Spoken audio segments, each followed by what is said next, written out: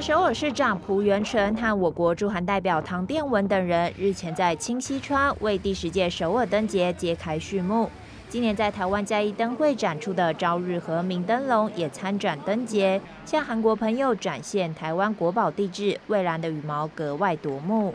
今天是第十届首尔灯节的开幕，我们非常开心啊！就是我们台湾的观光局啊。也有一个呃灯啊灯饰来这边参展呐，特别是连接到我们明年呐在屏东我们台湾的灯节啊，我想这个对于我们这个两国之间首尔以及及台湾之间的联系啊，会大大增加我们的观光的这个景点观光的热潮。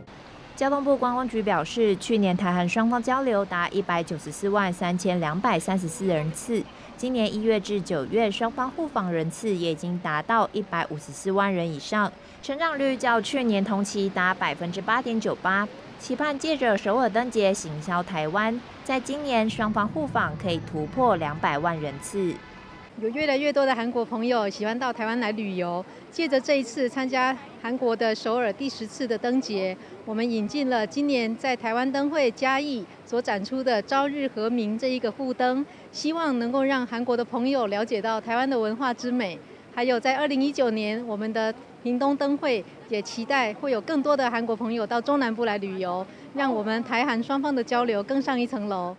这届首尔灯节，观光局希望借着台湾灯艺文化之美，连接宝岛的行销观光，进一步带动韩国旅客赴台旅游。